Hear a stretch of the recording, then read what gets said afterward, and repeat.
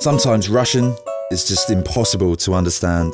It was the time to do financial reports, and I was waiting for the accounts from sales department. I called the head of the department and asked whether the accounts were ready. He answered me hurriedly, Not yet. The hands have not got around to doing it. And you know, just a year ago, that answer would have blown my mind. I would have damned everything and just run away. But thanks to the team at Echo Eastern Europe, now I understand Russian much better.